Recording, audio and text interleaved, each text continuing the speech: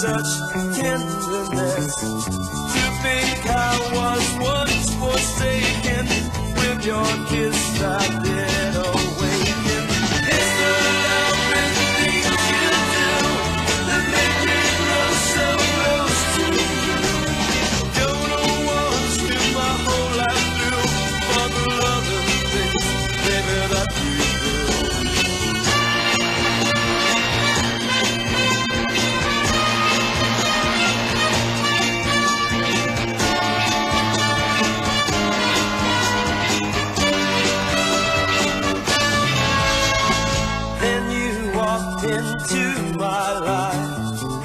how you'd soon end all my strife.